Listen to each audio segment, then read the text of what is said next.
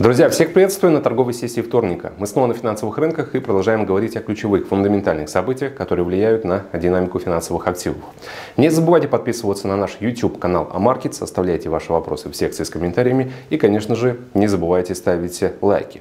Также напоминаю, что в описании к этому ролику вы всегда можете найти ссылку на наш официальный телеграм-канал AMarkets с торговыми идеями, в котором каждый день, в том числе и выходные, мы постим, размещаем дополнительный аналитический контент вам в помощь в принятии торговых решений. Сегодня на повестке экономического календаря выступление Кристин Лагард, главы Европейского центрального банка. Оно состоится 13-15 по GMT.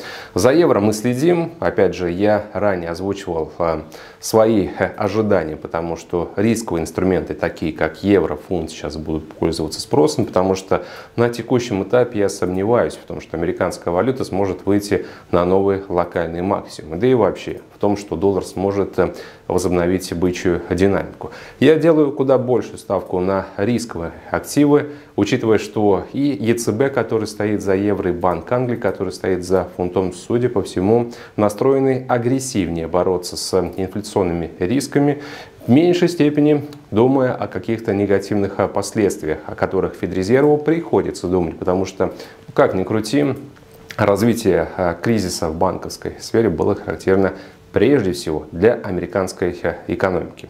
Сегодня от э, главы ЦБ Кристин Лагард я жду повторения того, что она трижды отметила на прошлой неделе, о том, что повышение ставки не просто уместно, это стратегия, тактика и решения, которые будут э, приниматься, потому что индекс потребительских цен существенно выше целевого ориентира, банковская система еврозоны стабильна, поэтому ЕЦБ может позволить себе дальнейшее ужесточение монетарной политики.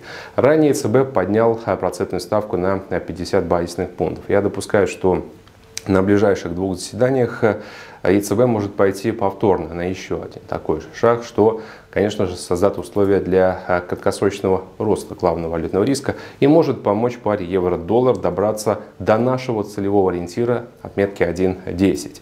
На стороне покупателей евро сейчас и макроэкономическая статистика. Вчерашний отчет АИФО по бизнес-оптимизму показал а, рост. А, фактически индекс достиг 93,3 пунктов с 91,1 пункта.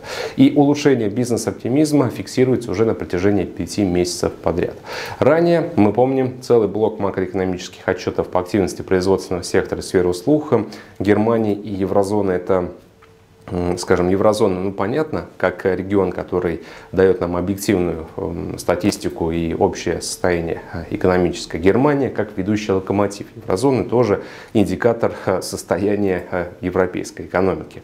Поэтому, если сделать акцент на то, какие были индексы, значительный рост был зафиксирован в сфере услуг, что позволяет нам предположить, что и показатели экономического роста тоже будут довольно-таки неплохими. Поэтому резюмируем, друзья. Сильная статистика, более-менее стабильный э, финансовый сектор. Мне даже сейчас хочется больше копаться именно в проблемах американских банков, потому что там прямо они очевидны. И достаточно посмотреть на график цен многих из них. В Европе я таких э, проблем сейчас не э, вижу. Возможно, они появятся позже. Я не говорю о том, что все идеально в европейской экономике. Это далеко не так. Но я предпочитаю работать эм, с тем, что есть на текущем этапе. Когда у нас а, будут предпосылки и необходимость сделать акцент на какую-то проблему в Европе, мы это обязательно сделаем. Но сейчас а, почему бы не положиться на текущее рыночное настроение и не ждать теста пары евро-доллара отметки 1.10. В пользу роста европейской валюты также говорит и рыночный сентимент. 65% трейдеров сейчас евро шортит. Идем по пути наименьшего сопротивления. То же самое с британской валютой. Текущей котировки 1.2316. Это практически максимум с февраля. Рост продолжится. Я думаю, что в рамках этой недели мы с вами упремся в сопротивление. 1.25 это уровень, который совпадает с нашим а, целевым а, ориентиром. По поводу а, американского доллара 102.24 пункта сейчас мы видим то, что на открытие текущей торговой сессии доллар снижается, давление усиливается. Статистику по американской экономике сейчас э, не имеет смысла анализировать. Ну, во-первых, каких-то стоящих важных релизов не было. Во-вторых, те отчеты, которые публиковались в последние дни, они как бы взаимоустранились. Заказы на товар длительного пользования, снижение на 1%, но при этом неплохие цифры по индексам PMI производственного сектора и сферы услуг. Особенно сферу услуг, потому что там существенно выше уровня 50 пунктов, который отделяет стагнацию от восстановления. Я все равно скептически настроен в отношении перспектив доллара, потому что ранее озвучивал свою точку зрения. Считаю, что американский регулятор э, склонен теперь э, придерживаться выжидательной позиции. И несмотря на то, что все-таки был легкий намек на то, что на ближайшем заседании ставка снова может быть повышена на 25 байсных пунктов, я думаю, этого решения уже не будет. Если бы на рынке присутствовали бы другие настроения, мы бы тут же увидели э, то, как они как они отражаются в э, ожиданиях по росту процентной ставки на основании инструмента FedWatch. И медианный прогноз по тому э, пиковому значению по ставке, который сейчас видится многим экспертам-аналитикам, чуть выше 5%. Это гораздо ниже, чем э, та оценка и прогноз, который был обозначен еще несколько недель назад. И, на мой взгляд, то, что эта оценка держится в районе 5%, подсвечивает, друзья, то, что пиковый уровень процентной ставки, скорее всего, уже был э, достигнут. Американскому регулятору придется не торопиться с ужесточением политики, потому что нужно быть предельно внимательными с тем, что происходит с национальной банковской системой.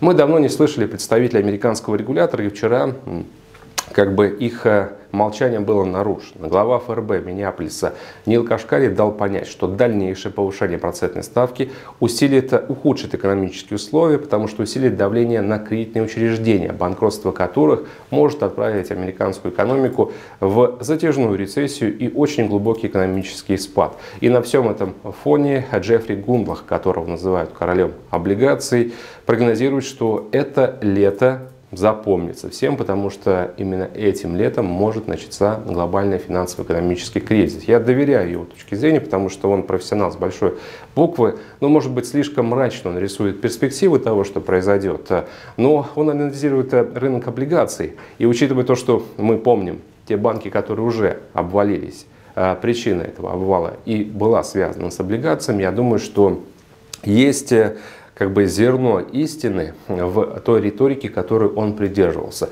И мы можем делать оглядку на эти заявления, ожидая ухудшения экономических условий и того, что а, ситуация в мире станет а, сложнее. Поэтому ФРС который э, будет отвечать за экономику, потенциально столкнувшуюся с э, этим э, банковским кризисом, не будет уже придерживаться той политики, к которой мы привыкли на протяжении прошлого года. Я сторонник того, что доллар, друзья, будет дальше снижаться, и в ближайшие недели мы все-таки можем увидеть тест поддержки 102 пункта. Золото 1960 долларов за тройскую унцию. Ждем, соответственно, дальнейшего восстановления, ничего не меняется. По поводу американского фондового рынка S&P 4013 пунктов э, тоже за э, продажи. Ожидаю снижения ниже 4000 пунктов. Были вопросы э, относительно перспектив рынка криптовалют. Я скептик в отношении криптовалют, хотя понимаю, что из-за банковского кризиса очень большую ставку многие сделали на альтернативы в том числе и на рынок криптовалют. Но сейчас очень сильно усиливается регуляторный контроль э, и э, давление со стороны регуляторов. Опять же, последнее инициированное расследование э, комиссии по ценным бумагам СЕК в адрес сервиса Coinbase биржи, Coinbase Ion. Якобы эту биржу обвиняют в предоставлении услуг по продаже незарегистрированных ценных бумаг. Буквально вчерашняя новость о том, что комиссия по торговле товарными фьючерсами CFTC тоже инициировала расследование э, за нарушение э, требований э, против криптобиржи Binance. И этот новостной фон, я думаю, ну, вряд ли для вас э, неожиданность. Я много раз говорил, что после краха FTX э, регуляторы будут серьезно давить на отрасль. Э, это странно, конечно же, но многие рассчитывали, что не будет каких-то жестких карательных мер, а будут созданы условия для нормального лояльного отношения инвесторов к этой индустрии и защите инвесторских средств. Но мы видим то, что регуляторы идут по не самому лучшему пути предпочитают прям очень сильно закручивать гайки со всеми вытекающими отсюда негативными э, последствиями. Полагаю, что все-таки рынок криптовалют в ближайшие недели снова э, кажется, под давлением. На этом, собственно, все. Большое спасибо за внимание и хорошей торговой сессии. Всем пока.